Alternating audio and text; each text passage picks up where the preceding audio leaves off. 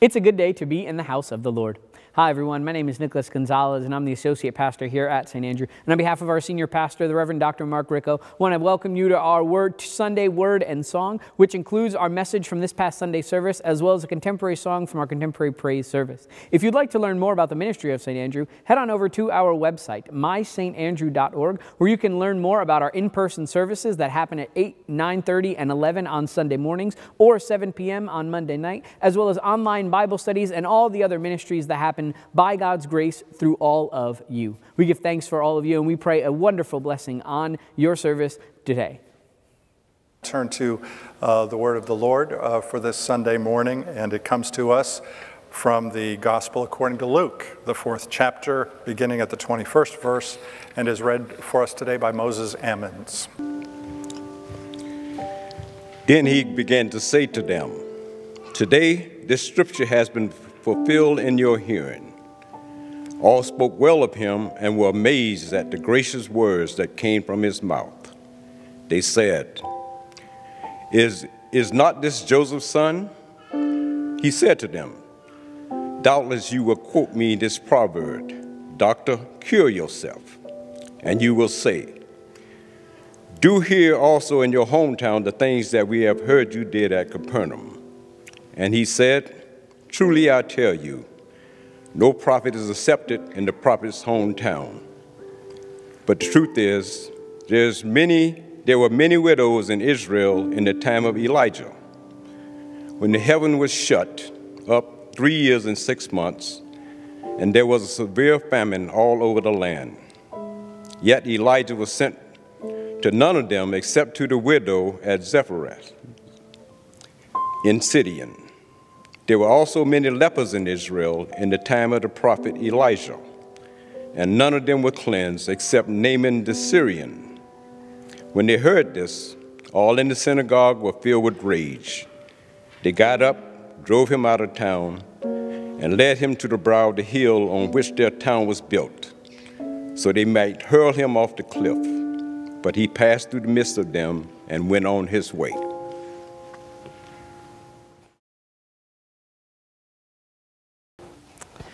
Grace, mercy, and peace to you in the name of Jesus, the light of the world. Amen. So, something that I have shared with all of you before is that I am not really the biggest reader.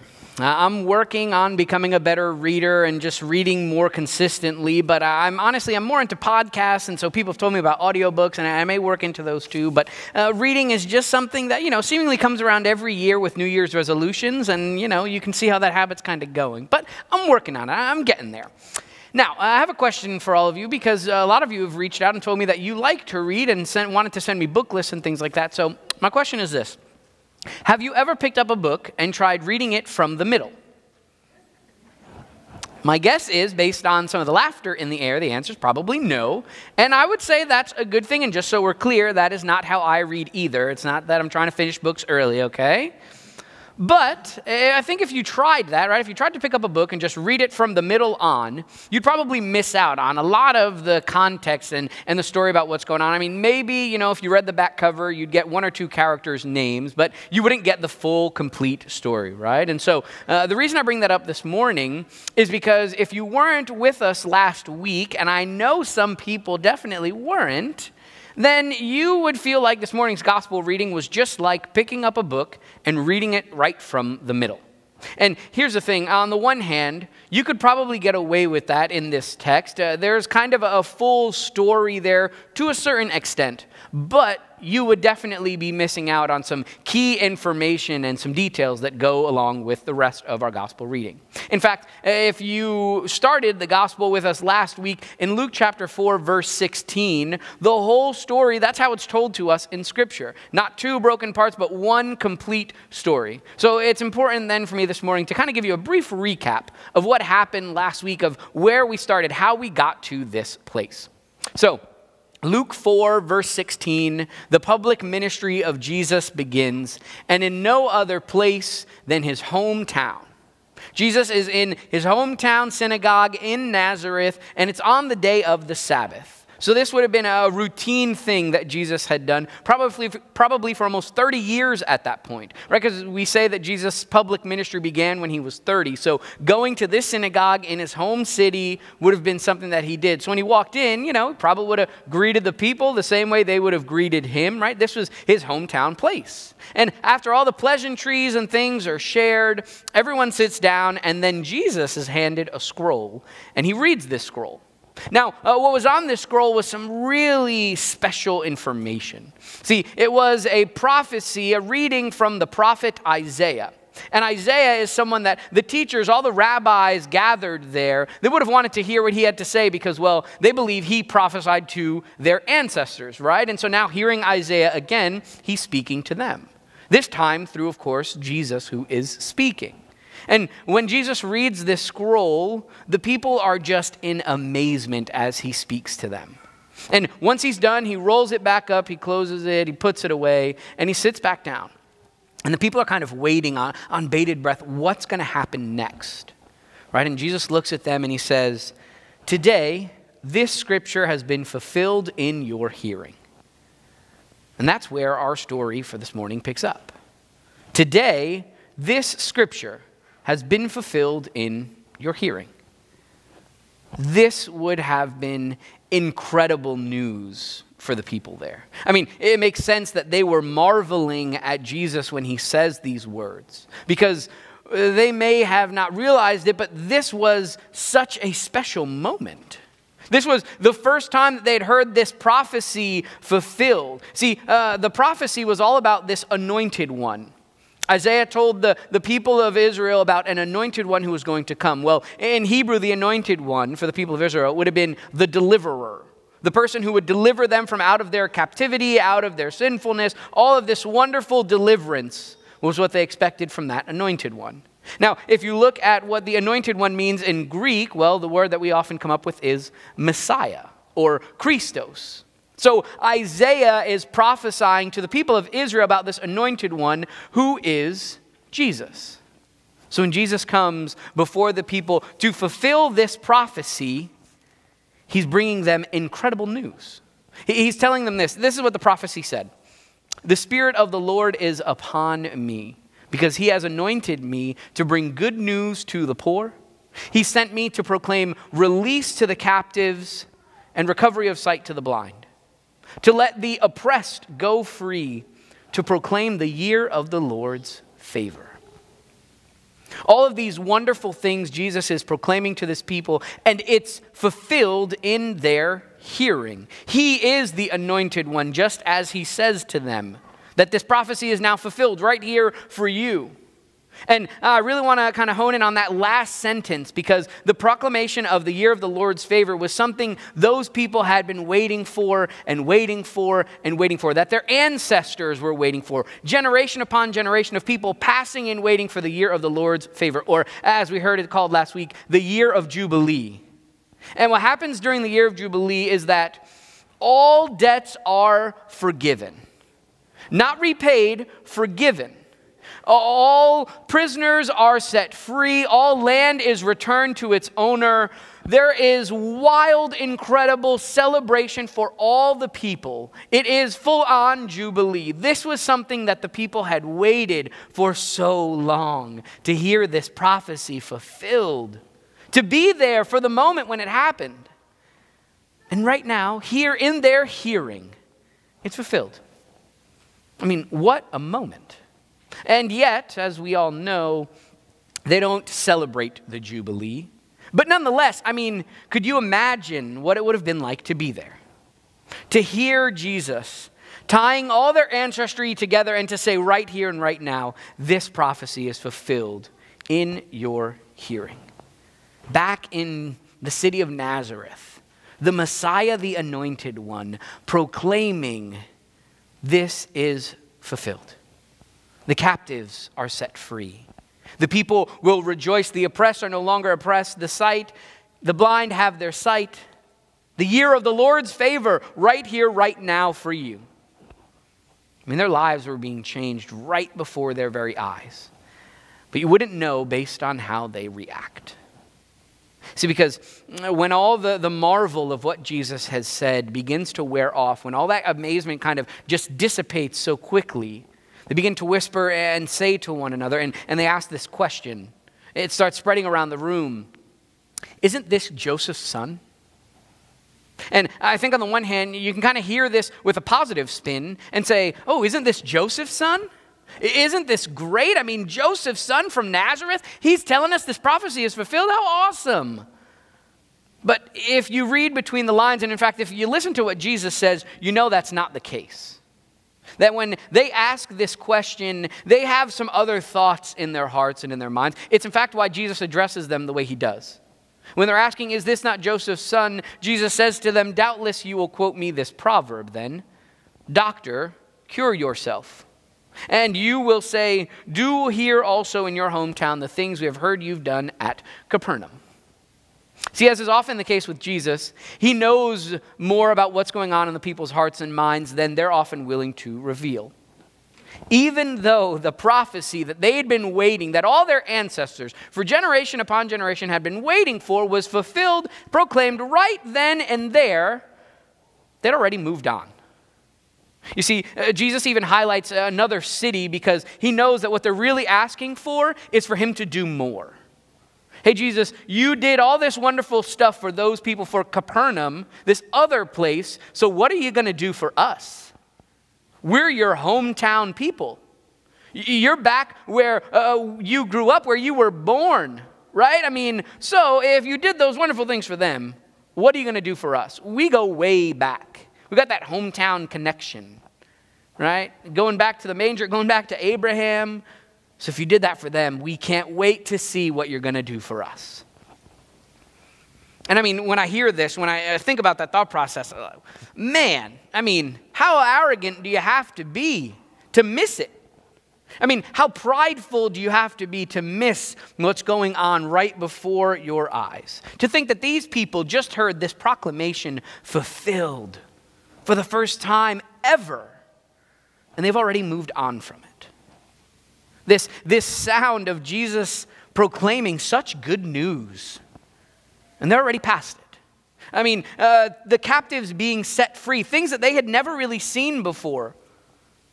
And yet they're, they're on from it, right? I mean, essentially, what they're saying to themselves now is, and really what they're thinking, what they're saying to Jesus is, yeah, so you did that for them, but what are you going to do for us.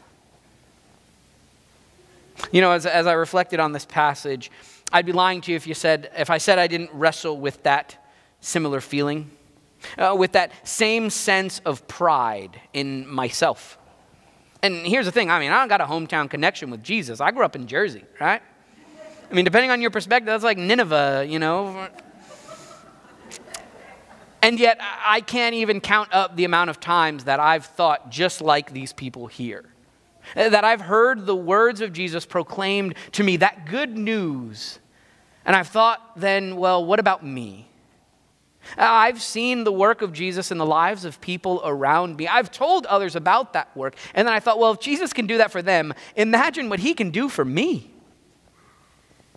And what, what's so messed up, what's so lost in that thought process, is that I'm having a hard time coming to grips with the fact of what Jesus has already done for me. That just like those people, we move on from it so quickly. I start to think about, well, with that pride and my sinfulness inside of me, I'm so worried about myself that I'm missing what Jesus is doing right in front of me. My pride just serves kind of as a distraction, pulling me away from the work of Jesus, as if perhaps he's not done enough yet. I want more. I'm too busy thinking about myself, and it's kind of just like being one of those people in the synagogue there. Distracted by the fact that, well, I think that I'm better, that I've got a, a special connection to him. And maybe you haven't wrestled in that same way, but my guess is you've had some of those thoughts and feelings too. Uh, your pride has gotten in the way and, and blinded you and distracted you, Eh, thinking that, well, I'm more special or I deserve more. Jesus is going to do more for me. And none of us like admitting that. And certainly none of us like hearing about it. We're kind of just like those people in the synagogue. It's because after Jesus addresses them, when, when he tells them what they're doing, they don't want to hear it. And so we hear they're filled with rage. So much rage, in fact, that they want to send him off a cliff, that they chase him out of the synagogue to the city's limits to get rid of him. So, sure, maybe we don't push Jesus off a cliff, but instead we just let our justification of our pride keep distracting us, keep blinding us from what Jesus is doing, what he's already done for us, and how that matters. We just move on in just such a brief moment after hearing such good news. But the beauty of this, the beauty of the fact that even when we move on so quickly, is that Jesus' words are still true.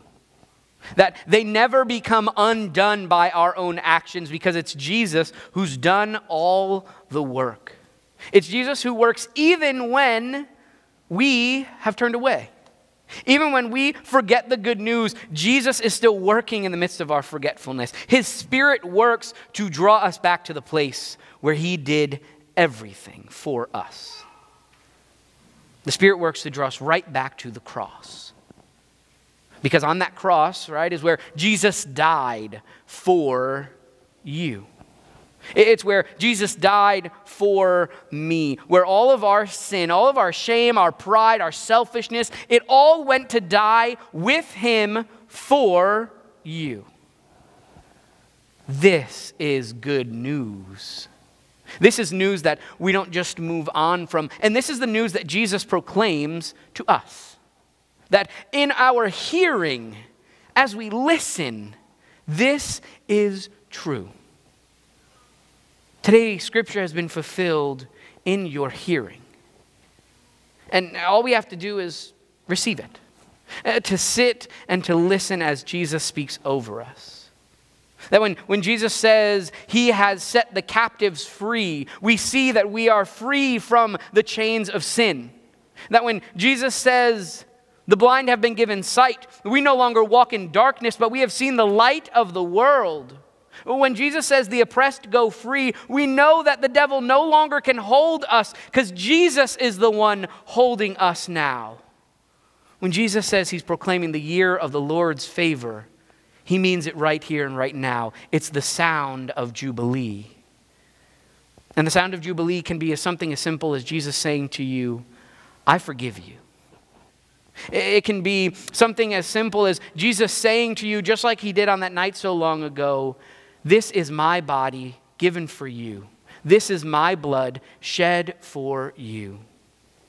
Eh, the sound of Jubilee looks like the little moments in our daily lives when relationships are reconciled, when brothers and sisters in Christ say to one another, The peace of Christ be with you, when our voices are raised as Jesus rains down his promises on us each and every day. The sound of Jubilee is the voice of Jesus speaking over us, moving within us, and saying to us at every moment, I love you, and you are mine. Church, my hope and prayer for you is that whether you've been here perhaps for the first time today or the hundredth time, that the words of Jesus continue to bring you joy that those words remind you that you have been set free because of his great love for you. That wherever you go, your eyes and ears are open to the sound of Jubilee. Because that's what a life in Jesus does for me and for you, now and forever. In the name of the Father, and of the Son, and of the Holy Spirit. Amen.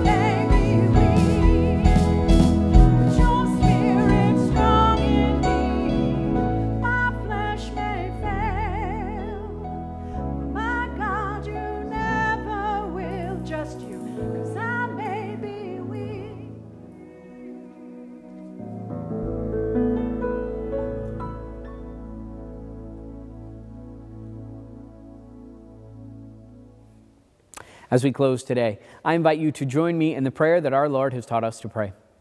Our Father, who art in heaven, hallowed be thy name. Thy kingdom come, thy will be done, on earth as it is in heaven. Give us this day our daily bread, and forgive us our trespasses, as we forgive those who trespass against us.